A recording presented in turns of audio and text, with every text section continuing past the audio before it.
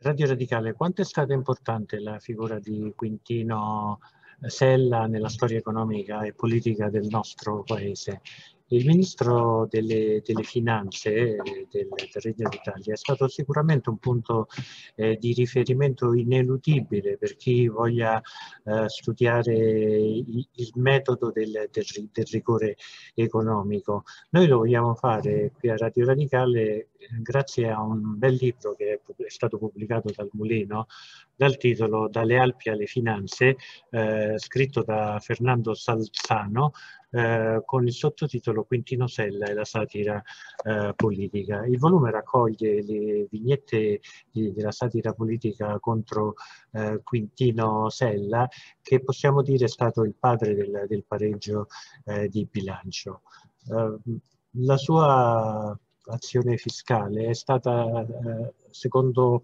eh, secondo, molti importante ed è stata rivalutata nel corso eh, dei, dei, decenni dagli economisti italiani perché è stato comunque il segno di un, di un rigore eh, importante che ha permesso al nostro paese di, eh, di raggiungere un equilibrio di bilancio importante che oggi possiamo soltanto sognare vista la difficile situazione del nostro uh, paese. Noi ne abbiamo voluto parlare con Fernando Salzano che è autore di questo libro, ma prima di questo vogliamo farvi ascoltare le voci di alcuni esponenti politici qui a Montecitorio che ci hanno aiutato a capire questa importante figura politica. L'abbiamo fatto uh, con due eh, cittadini di,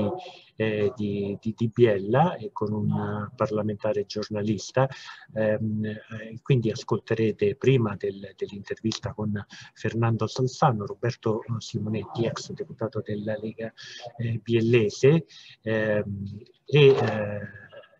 Roberto Pella, eh, che è vicepresidente del, dell'ANCI, che è un altro autorevole eh, biellese e eh, parente di un, di un, ex presidente eh, del Consiglio che è stato anche un autorevole eh, economista e con Andrea Gaggini, senatore di Forza Italia. Ecco che cosa ci hanno detto di eh, Quintino Sella.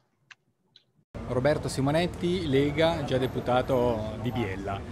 Quintino Sella è una figura importante per il territorio biellese e non solo per il territorio locale ma per l'intera nazione in quanto nella sua vita eh, svolse una serie di incarichi eh, di rilevanza nazionale. Durante l'esorgimento fu una delle figure importanti perché proprio dopo l'unità eh, ha dovuto gestire il Ministero delle Finanze e con eh, la tassa del macinato per riuscire a fare il primo pareggio di bilancio di cui ancora oggi purtroppo non si è risolto il problema. E poi fu alpinista, scienziato, eh, si dedicò ai minerali, ai cristalli, inventò, inventò la sonometria per la raffigurazione e la misurazione dei cristalli. Un personaggio quindi a tutto tondo che ha dato un'immagine del biellese forte, eh, di, di ingegno e di caparbietà. Fu ministro con più governi, addirittura anche con un governo La Marmora, altro biellese che si distinse assieme a Sella e ai due fratelli La Marmora durante il risorgimento e fecero la storia d'Italia. Sul territorio biellese è ricordato da una statua in piazza Martiri eh, che eh, lo raffigura eh, possente e, e in maniera veramente dignitosa. È ricordato per la scuola, intestata a lui, del tessile, tutti i migliori disegnatori del tessuto biellese famoso in tutto il mondo sono passati dall'Istituto Quintino Sella e a fondatore della Banca Sella che è stata la prima banca d'Italia a inoltrarsi nell'online. Non ultimo Biella Città grazie anche a Quintino Sella, fondatore del CAI, perché fu un grande alpinista che fu tra i primi a eh, eh, salire il Cervino, a salire il Monte Rosa, a salire tutte le montagne sotto, sopra i 4000 del contesto alpino eh, piemontese del nord Italia. Sono Roberto Pella, sindaco del comune di Valdengo, a 7 km dalla nostra città capoluogo di Biella. Ecco, allora, che ricordo ha lasciato uh, Quintino Sella e soprattutto ritiene che oggi Quintino Sella sia un personaggio, uh, diciamo, che viene guardato in maniera strana per il modo di fare politica e per il suo alto senso dello Stato. Allora noi lo ricordiamo per le tasse, ha portato al pareggio di bilancio che oggi per noi è un miraggio. Eh,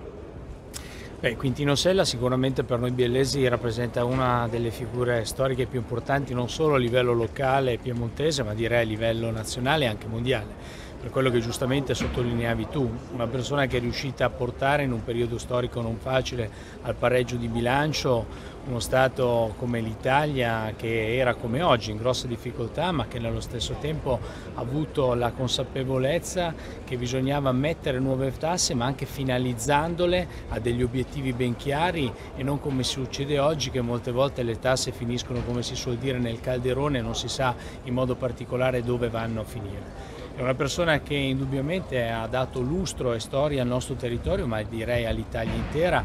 per, come dicevamo prima, per la sua capacità di in qualche modo definire una tassa ben precisa, ma nello stesso tempo di finalizzarla a quella che era un'iniziativa, un'opera, a quella che era un progetto, quello che era un piano di rientro molto chiaro. Ecco, io credo che oggi in Italia ci sarebbe bisogno di figure come la sua, non solo perché in qualche modo sapeva dare impulso al miglioramento dei conti, ma nello stesso tempo era colui che sensibilizzava in primis lui stesso e poi la sua famiglia, perché ancora oggi la famiglia Sella è importante, è peraltro la più grande banca privata italiana, è il gruppo Banca Sella dove c'è stato Maurizio che è stato per tanti anni anche presidente dell'ABI, oggi è condotta da Pietro Sella. Ecco, come dicevo sapeva in qualche modo anche sensibilizzare a partire dai propri cari, da se stesso, poi il pagamento dell'imposta e della tassa, e della tassa stessa. Ecco, quindi devo dire che questa figura per noi ha rappresentato un punto di riferimento, per i bilanci dello Stato è stato importante.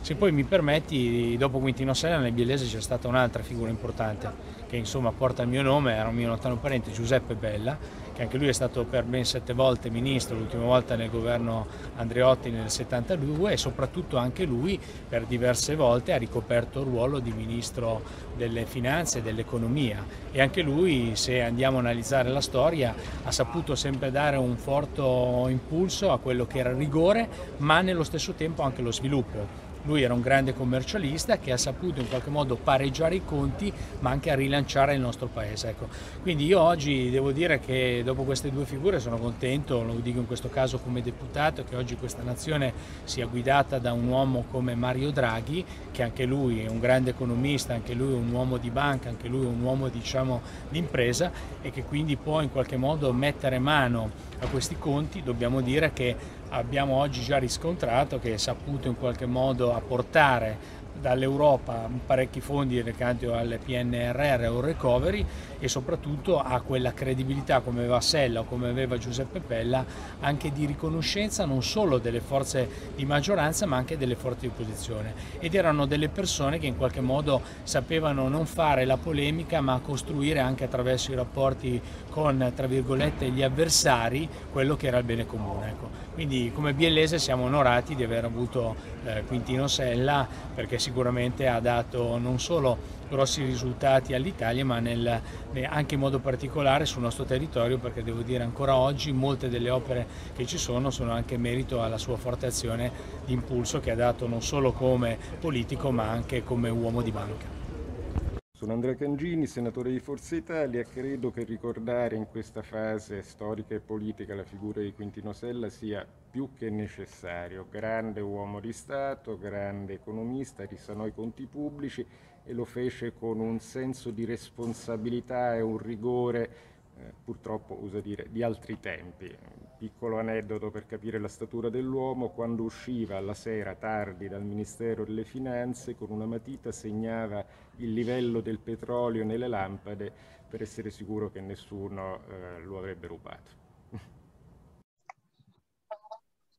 Radio Radicale, eh, come detto siamo in collegamento con Fernando Salzano, autore Dalle Alpi alle Finanze, Quintino Sella e la satira uh, politica. Eccolo qua, il libro è quanto mai interessante, io l'ho scoperto alla fine dello scorso anno in una libreria di Roma mi è piaciuto moltissimo e ho deciso di, eh, di fare una chiacchierata con l'autore perché innanzitutto la figura di eh, Quintino Sella si presta a tante interpretazioni ma è quanto mai attuale visto eh, le emergenze che noi dobbiamo affrontare sia per il nostro debito pubblico eh, che per eh, diciamo, la necessità di far fronte eh, non solo oh, alle difficoltà che conosciamo ma anche alle difficoltà che dovremmo affrontare quando tutto tornerà o dovrebbe tornare come prima ci auguriamo il più presto possibile dopo questa uh, pandemia. Lei ha avuto modo di sentire i contributi eh, del, eh, di, di dell'ex onorevole eh, Simonetti, eh, di, di, di, di, Roberto Pelle e anche di Andrea Cangini. Allora, eh, come ha trovato que questo, i ritratti che hanno fatto questi eh, tre esponenti politici, eh, se eh, ehm, si ritrova con quello che, che ha scritto lei e come è nata innanzitutto l'idea di fare questo libro? Certo, allora eh, per rispondere alla sua prima domanda, innanzitutto eh, ho, ho, notato che mh, mm, tutti i tre commentatori hanno sottolineato due aspetti che secondo me eh, centrali proprio rispetto alla figura, alla figura di Sella. Uno è quello della sua poliedricità, cioè la sua capacità poi di emergere in campi molto differenti tra di loro. Appunto, noi tutti lo conosciamo come eh, esponente politico, come ministro delle finanze, ma poi come hanno sottolineato anche eh, i commentatori, eh, il Sella fu molto attivo e famoso anche in altri campi, a cominciare dall'alpinismo, a cominciare dalla eh, ricerca scientifica, lui era un, miner- un mineralologo eh, e tante altre, era un figlio di una, veniva da una famiglia di industriali, quindi era anche un imprenditore. Insomma, questo aspetto della sua figura, questa sua eh, capacità di eh, emergere e di, di, essere attivo in diversi campi è sicuramente una delle, delle caratteristiche che più eh, rendono il personaggio. L'altro elemento che hanno sottolineato tutti i commentatori e que- che ha sottolineato anche lei nell'introdurre eh, l'intervista è quello della sua attualità. Cioè, nonostante eh, stiamo parlando di un personaggio vissuto 150 anni fa, ovviamente in un contesto molto diverso da quello odierno, però è un personaggio che ha dovuto affrontare appunto alcuni problemi che ancora sono eh, drammaticamente eh, attuali per il nostro paese, chiaramente in condizioni, in contesti differenti, però eh, ecco, eh, questo, il fatto che non stiamo parlando di un, solamente di un personaggio del passato, ma anche di una figura molto attuale, mi sembra un elemento che tutti i commentatori che lei ha intervistato hanno, hanno sottolineato. Senta, per quanto riguarda gli attacchi che lui ha subito, allora lei è un uh, dottore di ricerca in storia politica e sociale e, e si occupa di storia economica. Um, le volevo chiedere com'è nata l'idea proprio di, di, occuparsi di questo aspetto di Quintino Sella della satira politica e volevo chiederle se lei, eh, conoscendo poi com'è andata la storia economica del, ah, del, nostro paese, se ha riscontri negli attacchi della satira simili ad altri esponenti eh, politici che poi si sono succeduti, magari non so, eh, posso fare l'esempio di Tremonti che è un personaggio che è molto vicino a noi.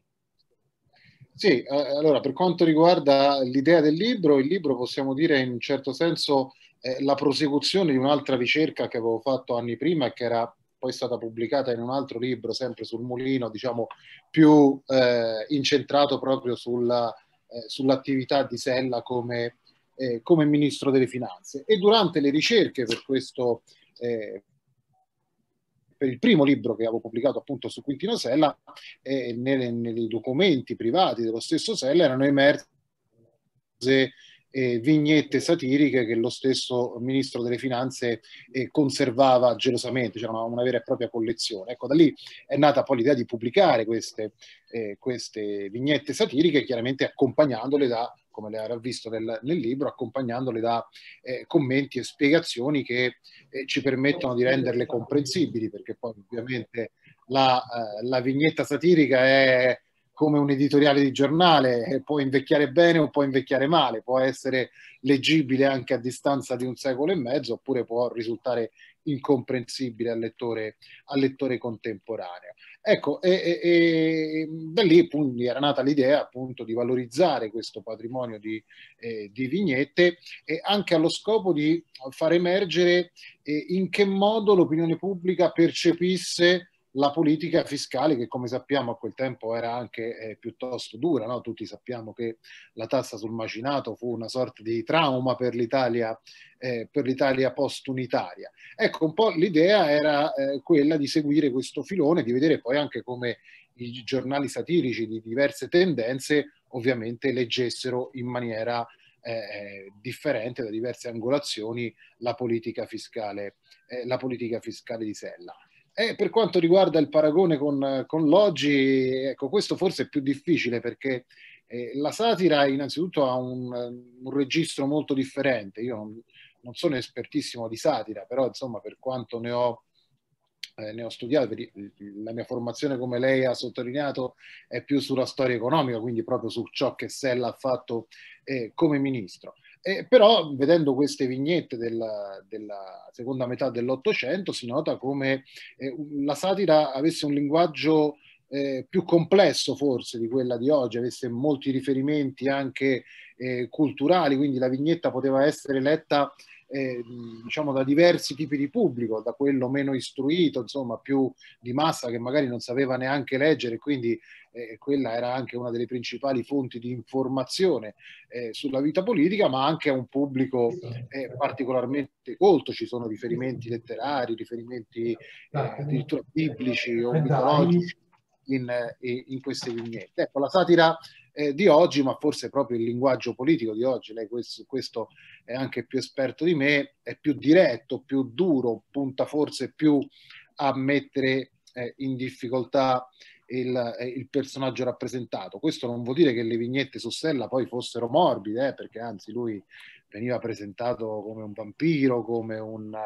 eh, uno spremitore dei poveri contribuenti, quindi insomma la, eh, ovviamente la critica c'era però eh, ecco, forse era presentata con un linguaggio più articolato che permetteva diversi eh, livelli di, di, lettura, mentre eh, oggi forse la satira è più, più, diretta da un certo punto di vista. Eh, senta, um,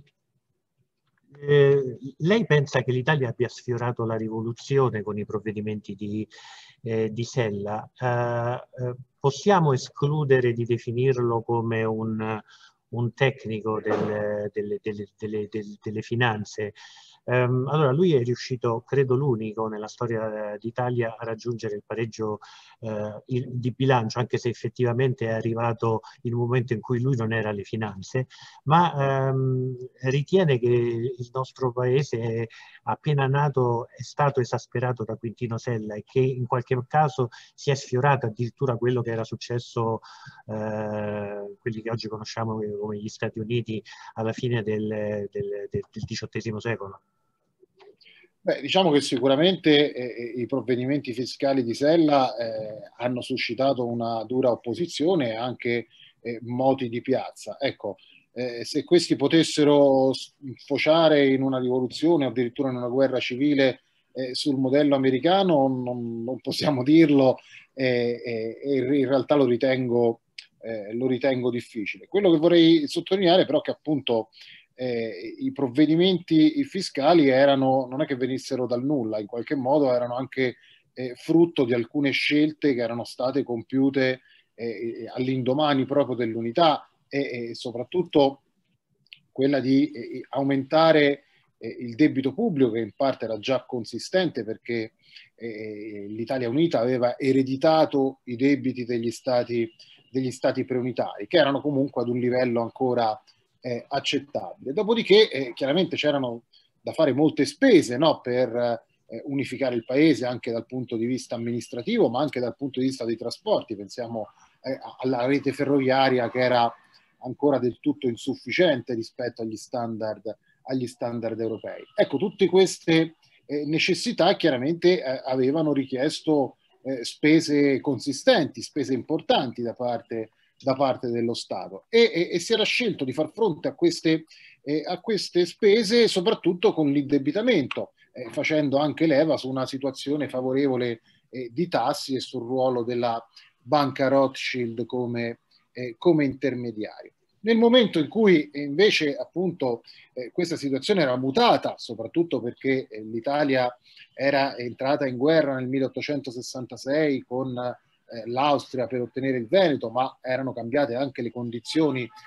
della finanza internazionale, c'era in corso una crisi, una crisi finanziaria internazionale, ecco in quel momento ecco che l'Italia si è trovata eh, diciamo, a rischio default. E, e quindi le, eh, i provvedimenti fiscali di Sella appunto non è che eh, fossero solamente frutto della sua volontà di eh, spremere gli italiani come veniva presentata poi appunto in molte eh, delle vignette, si trattava proprio di far fronte a una situazione di eh, eh, deficit, deficit di bilancio e di indebitamento che ormai non era più sostenibile date le, le situazioni cambiate, le mutate condizioni. I vignettisti dell'epoca uh, su, su, cosa lo attaccavano? Io ho visto che ci sono parecchie vignette dove lui viene preso per i fondelli per questa cosa della passione per la montagna. Lui tra l'altro è stato il fondatore del club alpino italiano. Uh, volevo sapere innanzitutto quale ha trovato, cioè qual è stata la vignetta più cattiva che lei ha visto e soprattutto come, come, ha trovato il fatto insomma, che se la prendessero con questa sua passione per, per l'alpinismo. Sì, eh, allora questo di rappresentarlo appunto come alpinista era da un lato sicuramente un modo per prenderlo in giro e per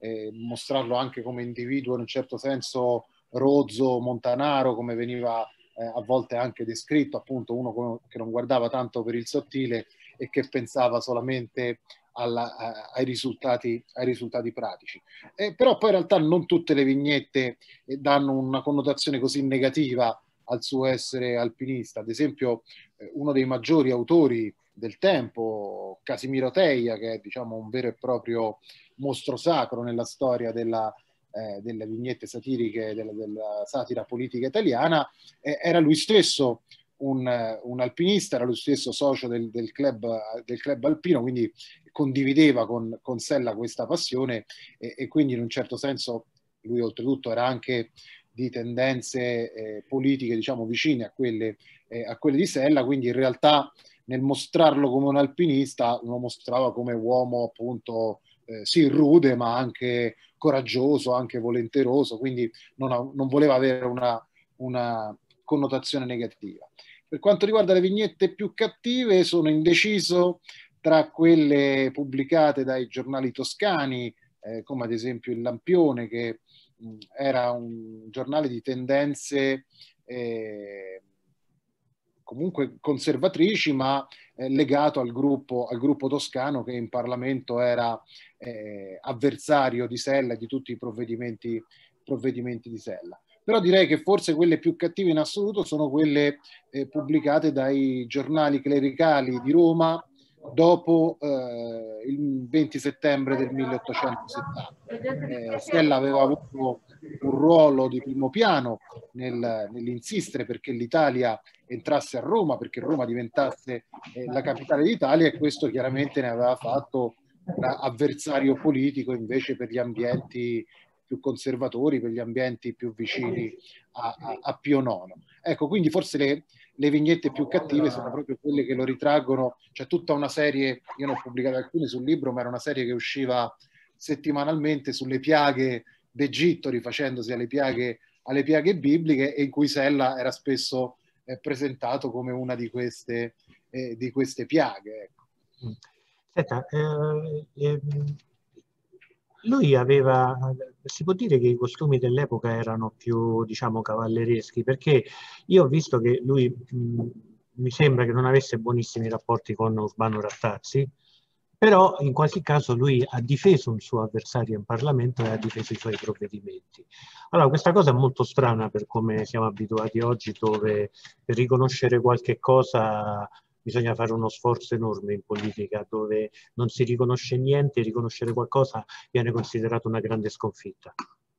È vero, è vero, ma mh, più che all'educazione, diciamo, alla cavalleria del tempo, che pure è vero, forse era eh, maggiore di adesso, eh, direi che c'era proprio questa eh, consapevolezza mh, del fatto di lui stesso, mi sembra che, eh, non, non mi ricordo se l'ho pubblicato, ma lui stesso lo afferma eh, a, un certo, a, un certo, punto dice eh, non sono dell'opinione che un ministro nel momento in cui entri in carica debba disfare tutto ciò che ha fatto il suo predecessore. Infatti lui era eh, in rivalità personale e politica non solo con Rattazzi ma soprattutto con, eh, con Minghetti. Entrambi avevano l'obiettivo del pareggio di bilancio ma avevano idee differenti su come questo pareggio di bilancio dovesse essere eh, raggiunto e ma, come diceva lei poi fu lo stesso Sella invece a difendere Minghetti nel momento in cui eh, era Minghetti a trovarsi al Ministero delle Finanze, a trovarsi sotto eh, il fuoco delle, delle opposizioni e lì fu lo stesso eh, Sella a difenderlo, così come lo difese quando era invece lui in carica di Ministro delle Finanze e, e, venivano rinvangati alcuni eh, provvedimenti di Minghetti. Quindi sì, forse c'era una maggiore educazione, diciamo, una maggiore cavalleria nei rapporti eh, tra politici anche di diversi schieramenti o comunque divisi da rivalità personali, ma soprattutto c'era secondo me una eh, maggiore consapevolezza della eh, continuità anche delle politiche, dell'importanza di portare avanti eh, anche progetti che magari erano stati iniziati da qualcun altro e, e che però venivano eh, portati avanti poi dai, dai ministri successivi. Senta, due ultime domande. Um, quanto è stato import eh, importante Quintino Sella per Roma Capitale dopo il 1870? Cioè la sua importanza anche storica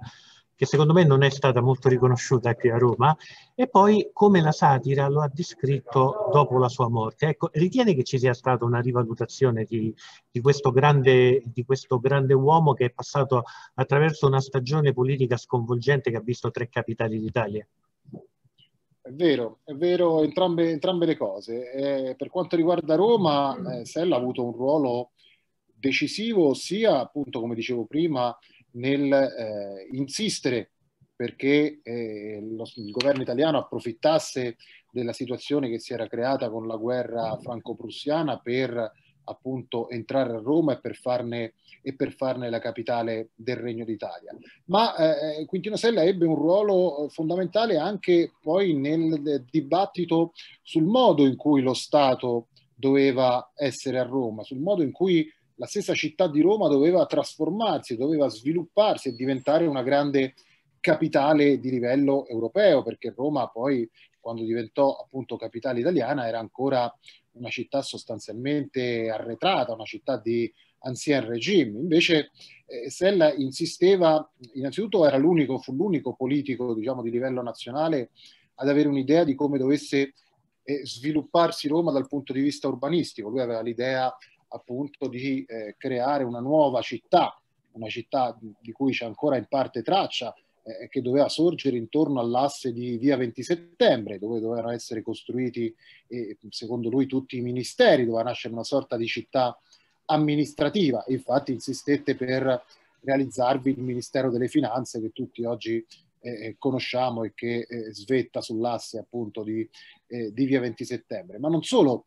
Quintino Sella era convinto che Roma dovesse assumere una missione universale, perché solamente con una missione universale avrebbe potuto in qualche modo la Roma italiana competere con la Roma pontificia. E, e secondo Sella questa missione univers- universale era quella di diventare eh, la capitale internazionale della scienza. Ecco, eh, Roma doveva diventare la sede di prestigiose istituzioni, eh, a cominciare dalla, dall'Accademia dei Lincei, di cui lui fu eh, il promotore della, della, rinascita dell'Accademia dei Lincei, ma anche appunto dello sviluppo del, dell'università, della Biblioteca Nazionale, eh, di un archivio storico centrale, insomma, e, e di laboratori scientifici. Ecco, la sua idea era che Roma dovesse diventare eh, la capitale,